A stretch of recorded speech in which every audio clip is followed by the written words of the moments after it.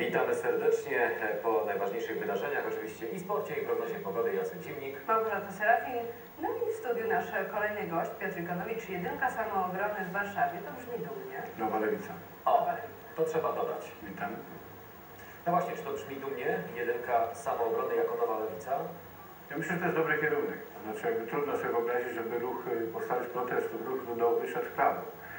Stąd ta koalicja z PiSem była trochę naciągana i wynikała z oszustwa PiSu, który udawał lewicę, a zawsze lewica nie mogła sama startować? Y, To znaczy partia, która się sprzeciwia tak wielu niesprawiedliwościom i y, takim głównym liniom polityki tych wielkich ugrupowań musi być marginalizowana, a system jest tak zbudowany, żeby te nowe partie, które powstają, już nie miały szansy doszlu- doszlusować do stawki. Dlatego to jest formuła, to tak, nie finansowania kampanii.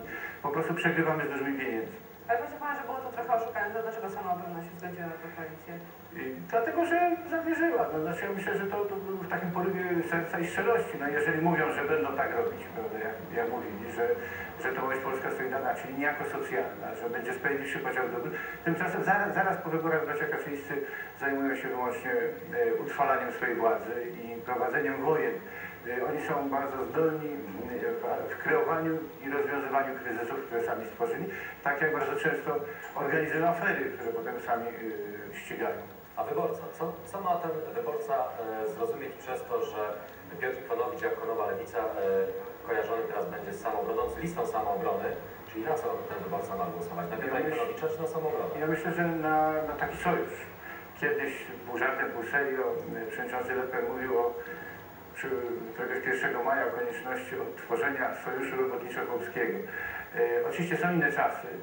Już nie ci chłopi, nie ci robotnicy, ale niewątpliwie interes jest wspólny. To znaczy ludzie żyjący z pracy narodowej i ludzie żyjący z pracy najemnej są podobnie oszukiwani, podobnie wyzyskiwani, podobnie e, uciskani. I z tym uciskiem należy walczyć wspólnie i w miastach, i na wsi. Zwłaszcza Jeżeli już jesteśmy przy Andrzeju Leperze, e, odbyła się debata Aleksander Kwaśniewski kontra Jarosław Kaczyński. Teraz Donald Tusk będzie debatował i z Aleksandrem Kwaśniewskim, i z Jarosławem Kaczyńskim. Z Andrzejem Leperem nie ma mowy o tym, żeby ktoś chciał stanąć do debaty.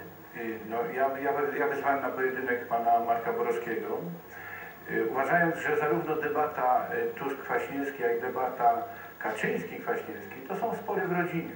Pamiętajmy, że te trzy główne ugrupowania, które przodują w sondażach, to są ugrupowania, które akceptują pewien model transformacji ustrojowej, który jest y, niekorzystny dla większości społeczeństwa, czego najlepszym dowodem jest fakt, że przy wysokim y, poziomie wzrostu gospodarczego tak wielu ludzi z Polski ucieka. Bo tu się po prostu nie da normalnie żyć i pracować, dlatego że to jest państwo pracodawców, jest to państwo ludzi zamożnych.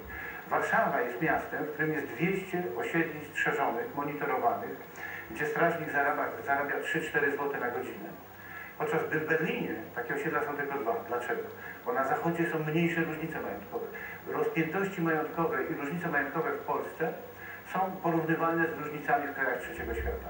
Stąd oczywiście demokracja staje się iluzją, ponieważ pieniądze dają władzę i dzięki temu pracodawcy, ludzie zamożni pomiatają i uciskają ludzi biednych. Demokracja wymaga pewnej równości również ekonomicznej i o to się bijemy. Wróćmy jeszcze do tej jedynki. Jest pan jedynką samoobrony w Warszawie. Ma pan bardzo poważnych przeciwników, Jarosław Kaczyński i Donald Tusk. Y, Dla mnie najpoważniejszym przeciwnikiem, y, na którego się uwziąłem, bym powiedział, jest i pan Kwaśniewski, i pan Borowski, którego wzywam na pojedynek. Dzisiaj wysyła mi sekundanta, bo będzie wieczorem pojedynek z panem Kaliszem. Y, Ale dlatego też przeciwnik, że dla lewicy w Polsce, dla tej opcji prospołecznej, europejskiej, nowoczesnej, największym zagrożeniem jest fałszywa lewica.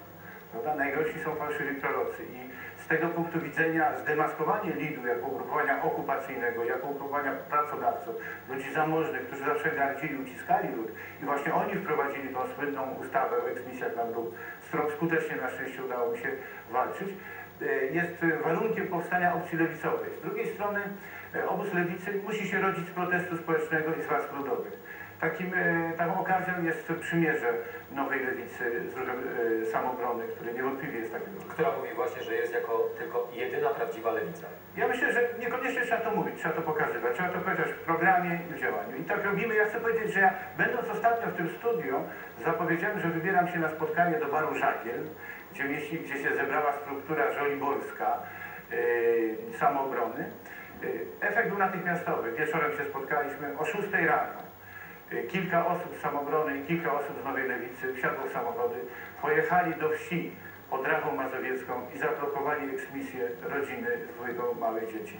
Myślę, że tak się pokazuje, że jesteśmy lewicą, że jesteśmy zawsze tam, gdzie dzieje się krzywda i ramię w ramię. Także my tak naprawdę w tej chwili tą samobronę sprawdzamy i sprawdza nam się pozytywnie. Dzisiaj o godzinie 13 gromada ludzi zbierze się Andrzej Leper, Leszek, Leszek Miller, Pan i Zygmunt Wrzodak. Ja myślę, że z tego ja, ja bym nie przeceniał roli Zygmunta Wrzodaka. Myślę, że to jest takie jakieś trochę nieporozumienie historii. Trzy, jest taki cztery, cztery za- zagubiony chłopiec. Natomiast e, niewątpliwie ta konwencja będzie okazją do powiedzenia, jakiego rodzaju lewicą chce być samoobrona. Co słyszymy z Pana strony? Yy, No przede wszystkim słynne 3 razy 8. 8 godzin pracy, 8 godzin wypoczynku, 8 godzin snu. Dlatego, że my chcemy być wolni. Yy, Takie pojęcie jak wolność zostało zawłaszczone przez liberałów. Tymczasem człowiek jest wolny wtedy, kiedy już kończy pracę. Wtedy, kiedy dysponuje swoim czasem. I polskie społeczeństwo jest społeczeństwem najdłużej w wymiarze godzinowym pracującym w Europie. Jednym z najdłużej pracujących na świecie. Dopóki to się nie zmieni, ludzie będą stąd uciekać, bo tak się nie da żyć. No, trzeba mieć również czas dla siebie, nawet, nawet duże zarobki, bo przecież w, tych korporacjach menadżerowie mają podobny problem. Nie wynagrodzą faktu, że oni będą umierali na przedwczesne wy- y, y, zawały albo będą się rozpadały rodziny. Dlatego y, to jest nasze zasadnicze hasło. Nie mówiąc o tym, że oczywiście ta ośmiogodzinna praca musi wystarczać na zapłacenie rachunków i normalne życie, po to, żeby nie trzeba było wyjeżdżać. Analizuje Pan trochę sondaże? Tak, tak. Y, Ja, ja jestem zadowolony. Y, Poparcie samoobrony, nawet to deklarowane w sondażach rośnie.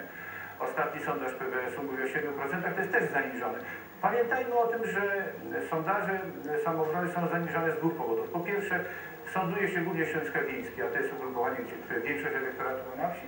A po drugie, bardzo wiele zrobiły media, żeby wytworzyć taką psychozę strachu, która sprawia, że bardzo wielu ludzi, którzy są zdecydowani głosować na samoobronę, boją się do tego przyznawać. Ja mam nadzieję, że w miarę jak się będzie rozwijała e, ta kampania, ci ludzie odzyskają poczucie dumy i godności, które ta kampania defamacji, e, upokorzeń i zniesławienia, którą część mediów niestety podjęła, e, przywróci. Więcej dowiemy się o godzinie 13 na konwencji samoobrony Piotr Ikonowicz 1 samoobrony w Warszawie. E, Był naszym gościem w studiu. My widzimy się z Państwem już za moment.